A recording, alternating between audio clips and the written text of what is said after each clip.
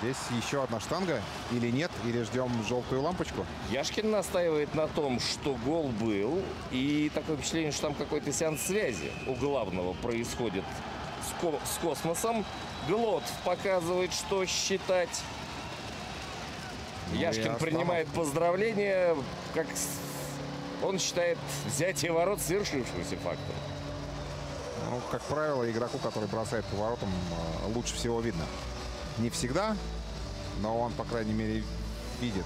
Причем здесь грамотно, да, вы, выдержал паузу, дал Глотову возможность выйти из зоны, а Яшкин и потом поехал на ворота. Смотрим.